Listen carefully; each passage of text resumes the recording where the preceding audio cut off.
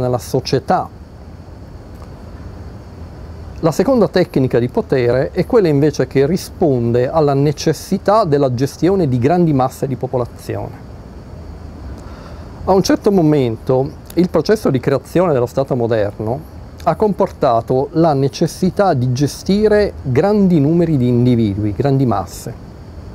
La risposta del potere a questa urgenza è stato il biopotere, il fatto cioè che il potere si occupi della vita degli individui, non tanto del loro comportamento, ma di tutto ciò che riguarda il loro bios, gli aspetti immediatamente vitali della loro vita, la salute, l'igiene, la fertilità, la mortalità.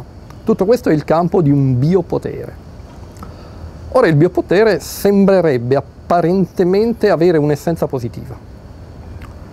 In realtà non è così, perché Foucault ha anche svelato il lato nascosto, il lato nero del biopotere.